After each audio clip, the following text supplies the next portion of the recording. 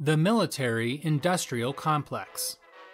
Shortly after becoming president, Dwight Eisenhower claimed that every gun made, every warship launched, every rocket fired signifies theft from those who hunger and are not fed, are cold and not clothed.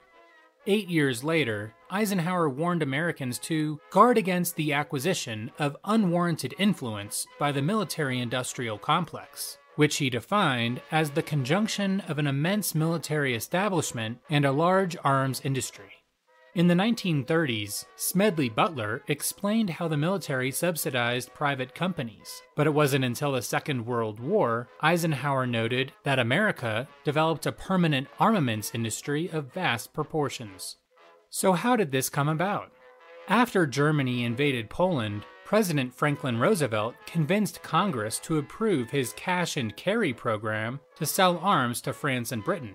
The following year, he replaced cash and carry with Lend Lease, which loaned weapons to cash strapped allies. Lend Lease established the precedent of American subsidization of foreign armies. Upon joining the war in 1941, the US government urged patriots to enlist in the battle for production propaganda reminded Americans that production wins wars, and heroic images of factory workers likened weapons manufacturing to military service. FDR's wartime policies mirrored his earlier New Deal, based on the ideas of economist John Maynard Keynes. During recessions, Keynes believed governments should stimulate demand by printing money to spend on public works. FDR applied this formula to his New Deal programs, but after nine years, the economy remained in shambles. The war allowed FDR to shift to what's known as military Keynesianism. Because inflationary military spending artificially boosts GDP, gross domestic product, and military enlistment reduces unemployment, military Keynesianism produced the wartime prosperity myth. Many people believe the war ended the Great Depression despite the countries facing shortages of basic goods, such as sugar and butter. Eisenhower understood the problem. The cost of one modern heavy bomber, he said, could pay for 30 schools, two power plants, two hospitals, 50 miles of highway, or half a million bushels of wheat. But the arms industry had become a fixture of the American economy. In an early draft of his farewell address, Eisenhower described this as the military industrial congressional complex.